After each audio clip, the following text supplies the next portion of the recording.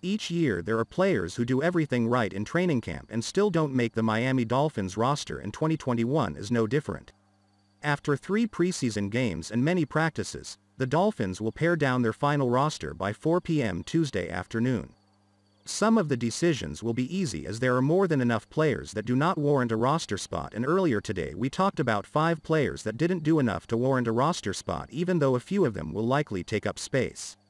Now, we are going to look at 5 players who may not make the final roster but have shown enough to warrant a roster spot and with fingers crossed, maybe the Dolphins believe they belong on the team as well.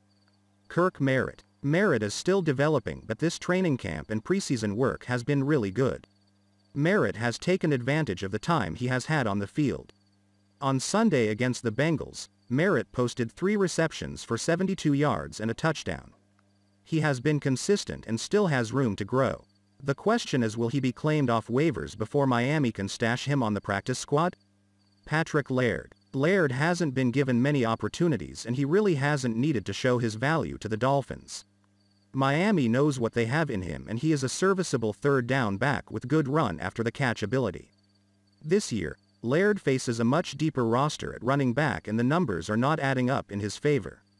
You will not see his name on the final 53-man roster but if things go well for the Dolphins, he will be on the practice squad and could be in a position to replace Jacoby Brissett after the 2021 season. Sinnett has played well given his chances this preseason and on Sunday played the entire game. His stats were good enough to stand out as the best QB performance of any team this preseason.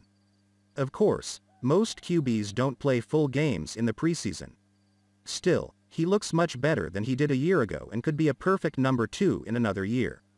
Robert Jones. There have been times when Jones looked like he would develop quickly as an offensive lineman and then, looked terribly lost. Miami guaranteed his undrafted free agent contract and come Tuesday, Jones is likely going to be cut and then brought back to the practice squad. Jones has a lot of upside but with all the transitioning and shuffling on the line through camp, Jones didn't get the time to develop quicker. Chris Myarick. Myarick had a spectacular clutch catch in the end zone for the game-winning touchdown on Sunday but he has also been consistent from the start of training camp. Myarick's problem is that he is behind Mike Gesicki and Hunter Long in terms of long-term plans and Durham Smythe and Adam Shaheen in more short-term goals. He is a candidate for the practice squad but if he wants playing time, he may need to find work outside of Miami.